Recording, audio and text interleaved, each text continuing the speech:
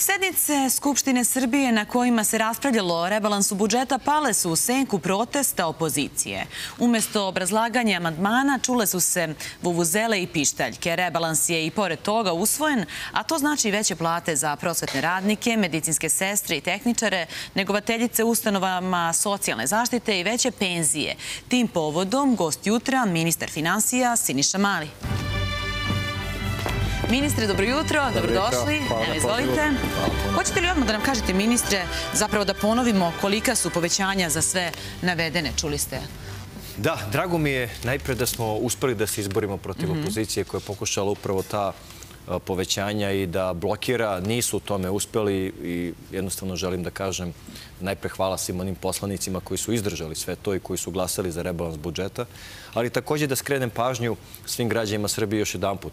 Dakle, da su upravo predstavnici, predstavnici opozicije, Zelenovića, Ćute, Radomira Lazovića i ostalih, bili ti koji nisu želeli i koji su se borili protiv usvajanja rebalansa. Je li vas iznenadilo ponašanje opozicije? I povećanja plata i povećanja penzija i isplate jednokratne pomoći svim majkama od 10.000 dinara i nastavka svih projekata koje smo dogovorili na kraju krajeva koji sprovodimo. Tako da u tome nisu uspeli, to je meni važno. Dakle, mi smo se izborili za taj rebalans i ono što je dobra vez za građane Srbije, evo, septembar mesec je obećanje koje smo dali, obećanje ćemo ispuniti, 5,5 odsto povećanje plata onima koji su zaposleni u prosveti, medicinskim sestrama i tehničarima, kao i negovateljicama u ustanovama socijalne zaštite. Svima njima sledi još jedno povećanje od 10% u januaru mesecu naredne godine, a to je sve na 12,5% povećanja plata koje smo imali od januara ove godine, tako da to je negde kumulativno 30,6%, daleko iznad nivoa inflacije, tako da je to upravo naša politika, politika koja je usmerena ka tome da životni standard i da kažem realni dohoda građana ostane pozitivan uprkos svim ovim teškim dešavanjima i velikoj globalnoj ekonomskoj krizi. Takođe u rebalansu budžeta je 5,5 povećanje penzija od 1. oktobra ove godine odlična vest po meni za naše najstarije sugrađane, vanredna indeksacija.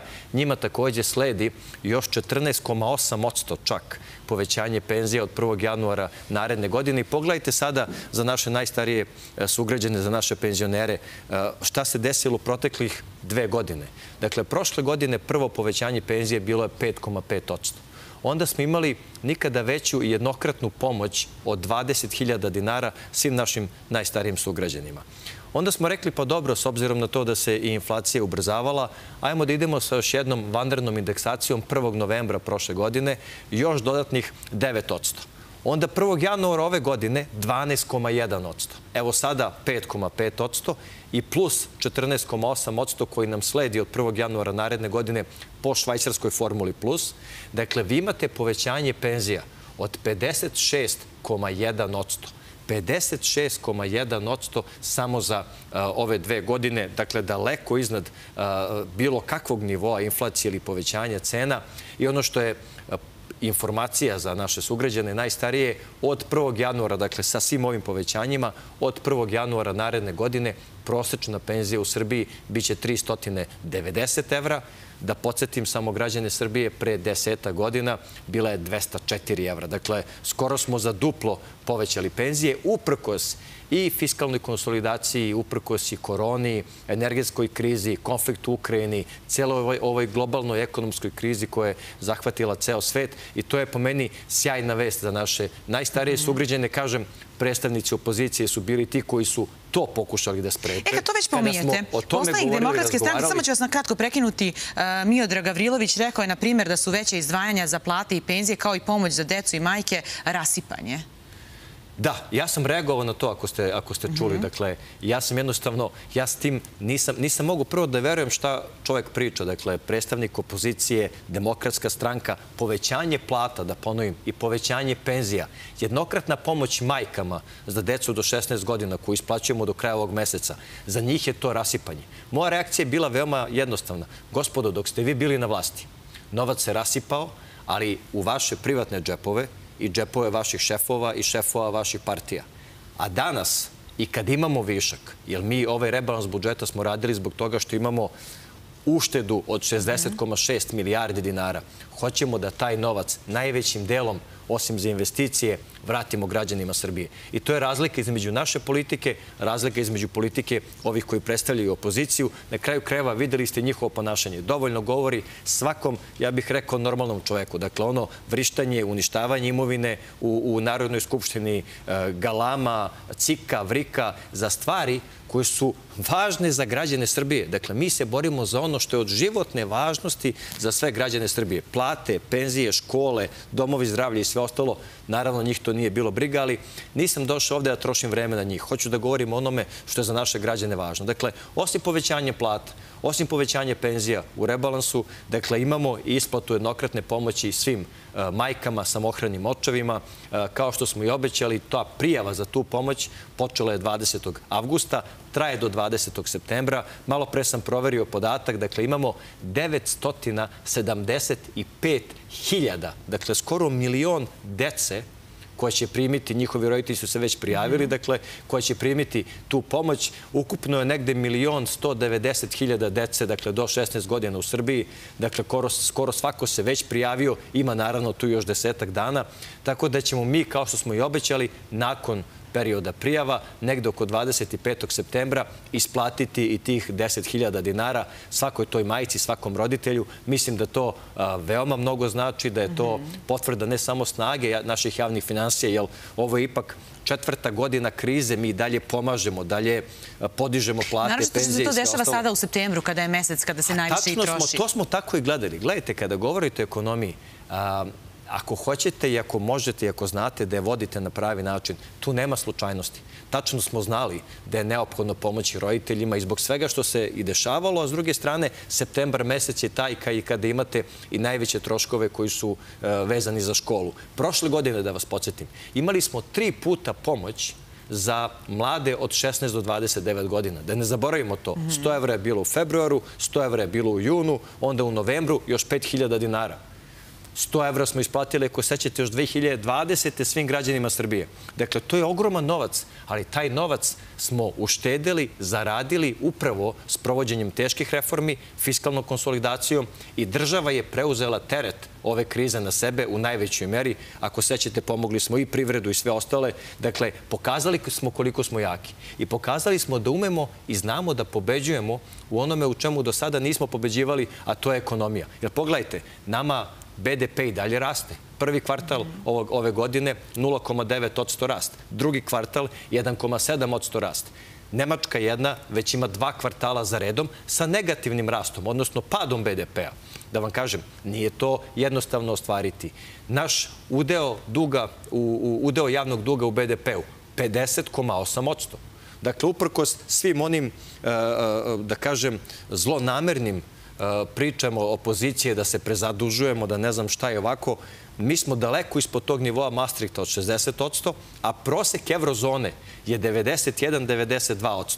Dakle, udeo javnog duga u BDP-u nama je 50,8%. A inače, taj BDP prvi put u istoriji da znaju građani Srbije, to ponavljam stalno, ove godine biće 68 između 68 i 69 milijardi evra. Dakle, pre samo 10 godina bio je 33,4. Naša zemlja raste. Ulažemo u infrastrukturu, rastemo, stvaramo novu vrednost. I pogledajte još jedan podatak koji je po meni fascinantan nakon četiri godine krize. Mi imamo danas, u junu mesecu, poslednji podatak, rekordnu zaposlenost.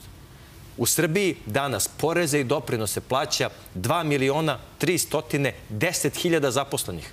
To je 50,4 stopa zaposlenosti. To nikada nije bilo na ovaj broj građana Srbije.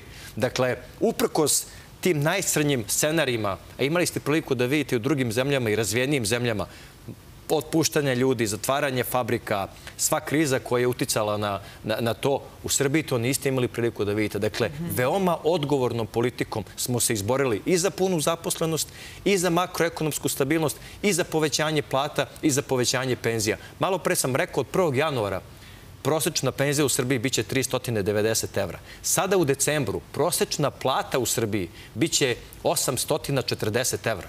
Dakle, mi smo potpuno na putu da ispunimo obećanje koje smo 2019. dali da u programu Srbija 2025. Apsolutno. 2025. biće 1000 evra prosečna zarada, penzija između 430 i 450 evra. Nikada veće penzije, nikada brže nisu rasle, a s druge strane bezbedne, sigurne, i građani znaju da ono što obećamo, mi to ispunimo. Dakle, tri stvari koje sam napomenuo oko rebalansa. Povećanje plata, povećanje penzija, jednokratna pomoć majkama. Još tri stvari koje želim da napomenem.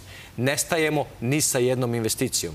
Dakle, mi u rebalansu budžeta imamo dodatni novac za nastavak svih puteva koje gradimo, domova zdravlja, škola, bolnica, dakle, kanalizacijonih mreža, fabrika za prečišćavanje otpadnih voda. Za nas je to veoma važna politika. Kao što vidite, otvaraju se novi kilometri autoputa, gradi se takođe brza pruga do, do Budimpešte. To je nešto što ne samo podiže kvalitet života građana mhm. Srbije, nego čini celu našu zemlju atraktivniju. Da. Zato imate rekordni priliv stranih direktnih investicija, zato imate otvaranje fabrika i to je jedini, da kažem, održiv i ispravan način vođenja ekonomske politike. Odakle nam novac, ministre? Šta je premašilo očekivanje i prognoze? Najpre, mi smo išli veoma konzervativno u projekciji prihoda. Uvek to radimo. Dakle, verovali ili ne, projektovali smo projekciju e, za povećanje prihoda za ovu godinu samo 7,8%. 7,8%, tako smo projektovali rashode i na takav način veoma konzervativno prišli ovoj godini. Jer nismo znali kako će kriza da se odvija, hteli smo da budemo oprezni kao što uvek radimo, da vodimo računa o svakom dinaru, pa ako nas pozitivno trend iznenadi, da onda vidimo gde ćemo višak novca ili ono što smo uštedili da uložimo. To smo upravo uradili. Dakle, veoma konzervativno planiranje. S druge strane, veći prihodi, Dakle, naplata poreza, naplata doprinosa. Jednostavno, malo pre sam rekao, naša privreda i dalje radi. Naša ekonomska aktivnost je i dalje pozitivna. Imamo punu zaposlenost. Dakle, porezi i doprinosi se uplaćuju u RFZO, u PIO fond, u, u, u budžet Republike Srbije. Dakle, s takve strane i s te strane jednostavno vodimo, ja bih rekao, naj, ne mogu da kažem najpametniju, biće, uh, nije fair. Ali odgovornu ali politiku. veoma odgovornu politiku i jednostavno pružamo se koliko smo dugatki, što bi se reklo. Ono što još, da ne zaboravim, je u rebalansu budžeta 35 milijardi dodatnih subvencija za naše poljoprivrednike. Mhm. Za sve poljoprivrednike poruka upravo su predstavnici opozicije bili ti koji su želeli da spreče usvajanje dodatnih subvencija za poljoprivrednike. Podigli smo subvencije po hektaru sa 9 na 18.000 dinara. Izborili smo se protiv tih iz opozicije da se to usvoji, tako da imamo rekordan budžet za poljoprivredu. 7% našeg budžeta ove godine ide u poljoprivredu, što je još jedna lepa vest. I konačno, ispunili smo obećanje koje je predsjednik Vučić dao da, da imamo dodatan novac, 3,9 milijardi dinara, za lečenje redkih bolesti, za lečenje dece i odraslih u inostranstvu. Mislim da na takav način pokazujete koliko vam je stalo i koliko brinete onima za koje je ta vaša briga i naj, kojima je ta vaša briga je najpotrebnija. Dakle, svako obećanje koje smo dali ispunili smo. Veoma važna vest. Mi tačno znamo šta ćemo i kako ćemo da radimo naredna tri meseca i da iskoristim priliku mm -hmm. samo danas u 13 časova predsjednik Vučić će imati konferenciju za štampu. Da, da, Hoću samo da, da, da pozovem građane Srbije, vaše gledalce koji mm -hmm. nas gledaju, pogledajte tu konferenciju. Biće tu dosta... Vi znate šta će reći predsjednik? Biće tu, ja mogu samo da pretpostavim otprilike šta će e, govoriti, o čemu će govoriti. Mi smo sinoć pričali o tome. Biće nekih lepih i važnih vesti za sve građane Srbije, tako da biće i manje lepih, ali ove lepe mislim da je veoma važno da svi čuju, tako da pozivam građane Srbije danas u 13 časova saslušajte konferenciju za štampu predsjednika Vučića. E, sindikalci i poslodavci nisu se saglasili oko povećanja minimalne cene rada na jučerašnjoj sednici Socijalno-ekonomskog saveta. Odluka o iznosu minimalne cene rada za sledeću godinu biće doneta na sednici vlade u četvrtak. Predlog vlade je da bude 47.154 dinara, a sindikalci 52.000 dinara. Gde je zapelo za da, tih 5.000 dinara? Da, kao što vidite, veoma, veoma, veoma uh, intenzivna nedelja, Aha, što bi se jest. reklo, uh, od rebalansa budžeta, pregovora sa sindikatima i sa poslodacima. Najpre, uh, velika zahvalnost svima onima koji učestvuju u razgovorima i pregovorima. To je Socijalno-ekonomski savet, gde imate predstavnika i poslodavaca i sindikata i vlade Republike Srbije. Iako se ponekad ne slažemo, veoma je mhm. važno da komuniciramo i da smo napravili taj dijalog. Na kraju krajeva, slušajući jedne druge, nekako smo poslednje četiri godine ovu krizu i prebrodili na pravi način. Ove rezultate kojima sam govorio, nije to samo vlada, dakle tu je i privreda, tu su i predstavnici sindikata, svi zajedno nekako jedinstveno po meni pokušavamo da nalazimo najbolje rešenja za ovu situaciju gde nemate knjigu koju možete da pročitate pa da vam kaže, znate sad u ovoj najvećoj ekonomskoj krizi ikada posle drugog svetskog rata treba da uradite to, to i to. Ne. A to je samo kriza u nizu, jer imali smo koronu, rat u Ukrajini, ekonomska kriza. Od 2020. to nestaje. godina znači, korona, poremeće u lancima snabdevanja, konflikt u Ukrajini, energetska kriza, jednostavno ne vidite kraj svemu tome. Ali, još jedan put, borimo se i da se vratim na ovu temu. Dakle, naš predlog je da idemo sa rekordnim povećanjem minimalne zarade u procentalnom iznosu. Dakle, sa sadašnjih 40.020 dinara povećavamo minimalnu zaradu od 1. januara naredne godine na 47.154 dinara. To je povećanje od čak 17,8 U radnim satima to je povećanje sa 230 dinara po satu na 271 dinar po satu. I pogledajte, to vam je sada već minimalna zarada preko 400 evra, negde 401 evro. 2011. godine, dakle pre 12, 11, 12 godina, u vreme prethodne vlasti, ovi koji protestuju protiv svega toga, bila je 15.700 dinara. Dakle, 15.700 dinara tada na nezaposlenost od 25,9%, kada je svaki četvrti u Srbiji bio nezaposlen. Danas, odnosno za tri meseca, imamo minimalnu zaradu preko 400 evra, dakle 47.000 plus dinara, na rekordnu zaposlenost. Dakle, materijalno se situacija u Srbiji promenila, jer visina minimalne zarade vam ne znači mnogo ako nemate posao.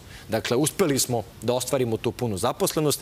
Idemo sa procentualno najvećim povećanjem minimalne zarade. Inače, projektovana inflacija za narednu godinu je 4,9%.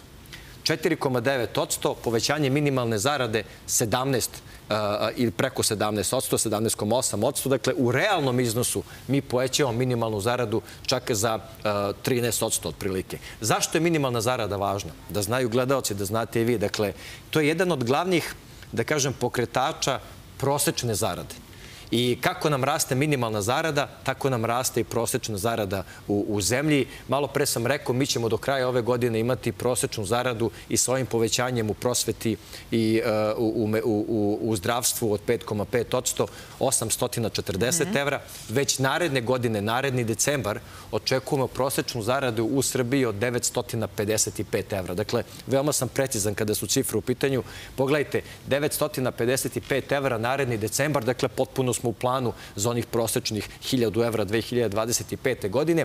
2012. godine, da uporedimo, prosečna plata u Srbiji bila 331 evro. Dakle, tri puta veća će biti naredne godine, to će biti 12 godina od tog trenutka. Dakle, veliku stvar smo uradili. I još jedna stvar, kako bi kompenzovali to povećanje minimalne zarade, bar delimično, kada su poslodavci u pitanju, idemo sa povećanjem neoporezivog dela dohodka sa sadašnjih 21.712 dinara na 25.000 dinara. To je nešto što je veoma važno. Dakle, taj neoporezivi deo dohodka, kako se podiže, važan je za sve zaposlene. Dakle, za svih 2 miliona i 300 hiljada i 10 310.000 zaposlenih, zato što i najviše pogađa one koji imaju najniža primanja. Dakle, jednostavno motivišemo poslodavce da dalje zapošljavaju, i motivišemo takođe da iz sive zone svi zaposleni prelaze, da kažem, u belu zonu. Dakle, i ta odluka, povećanje minimalne zarade i takođe povećanje neoporezivog dela dohodka zajedno su, da kažem, u kombinaciji i mi ćemo sa tim povećanjem neoporezivog dela dohodka dalje rasteretiti plate i prvi put u istoriji prolazimo i dolazimo do ispod 60% opterećenja zarada u Srbiji. 2017-18. ukupno opterećenje na zarade u Srbiji bilo je 64%. Sa ovim povećanjem neoporezivog dela dohodka biće 59,9%. Dakle, prvi put ispod 60%, što je dodatna motivacija za poslodavce da zapošljavaju ljudi. Kao što vidite, ekonomija kako je vodite na pravi način, to vam je kao mozaik koji se polako mhm, uklapa. Dakle, hoćete da motivišete poslodavce da zapošljavaju, jednostavno hoćete da neću da kažem da ih naterate, ali da ih motivišete takođe da iz sive zone pređu u, u belu zonu kada su zaposleni u pitanju. Osim što inspekcije rade svoj deo posla na terenu, jednostavno kroz smanjenje opterećenja na zarade, vi kažete, počekajte, meni se isplati da zaposlim te ljude. S druge strane, samo da završim, veoma je važno podizanje životnog standarda građana Srbije, zato idemo i sa povećanjem minimalne zarade. Kažem, to utiče i na prosečnu zaradu Penzije, videli ste i sami, nikada veće e, penzije u Srbiji nisu bile sigurne, bezbedne i s te strane mislim da smo na pravom putu i da ostvarimo pozitivnu stopu rasta našeg BDP-a ove godine, što je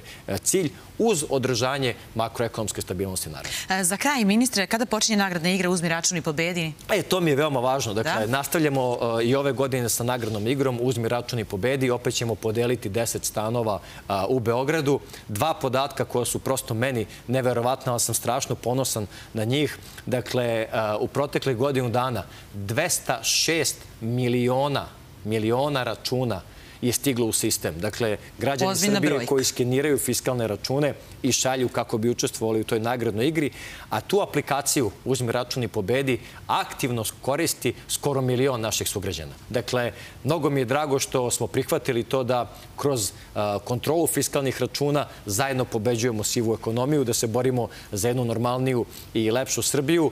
Nagradna igra, mislim da će prvo izlačenje biti već polovinom oktobra, tako da pozivam sve građane, uzmite učešće u svemu tome. Naravno, i ako ne učestvujete u nagradnoj igri, uzimajte fiskalne račune, jer tako se zajedno borimo protiv sive ekonomije. I još, jedanput- nešto, sutra je parada ponosa, da iskoristimo i to. Vi ste šetali kada ste bili na mestu gradonačelnika i kao ministar financije, ili idete i ove godine? Ja sutra neću stići, nažalost, ali kao što rekoh, Beograd je više puta pokazao da je otvoren grad, grad koji jednostavno ne trpi bilo kakvu vrstu diskriminacije, tako da neću biti sutra na paradi, puno uspeha i, onima koji će biti, a jeste u pravu ste, ja sam četiri godine za redom od 2014. učestvovao. Na kraju krajeva i to je pokazatelj koliko se Srbija promenila. Dakle, svi treba da budemo tolerantni, ali s druge strane, u ovim uslovima, uslovima strašno teških izazova i koja i predsjednik ima i, i, i mi zbog međunarodne situacije, Kosova i tako dalje. Treba da pokažemo da smo jedinstveni, da smo složni. Nismo to, nažalost, imali priliku da vidimo od predstavnika opozicije u parlamentu, ali što se nas drugih tiče, mislim da ćemo se boriti i nastavit ćemo da se borimo da pokažemo da je Srbija jedinstvena i kada smo jedinstveni i složni, onda smo nepobedivi. Još jedan put, pogledajte konferenciju za štampu predsjednika Vučića U u 13. 13 časova. Mnogo, mnogo važnih, ali i lepih vesti za građane Srbije.